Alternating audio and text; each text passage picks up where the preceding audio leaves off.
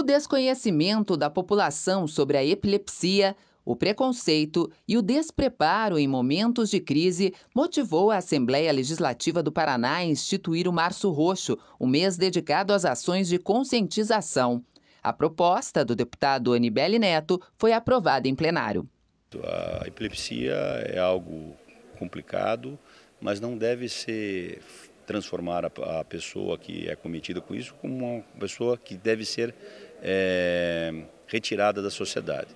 Eu há muitos anos atrás eu tive infelizmente eu tive uma convulsão, tive durante um certo período ter que tomar um anticonvulsivo e etc. Então eu acabei é, conhecendo muitas pessoas que têm esse problema até hoje. Portanto, quando soubemos é, dessa intenção de que de podermos apresentar esse projeto, falamos de 50 milhões de pessoas no mundo.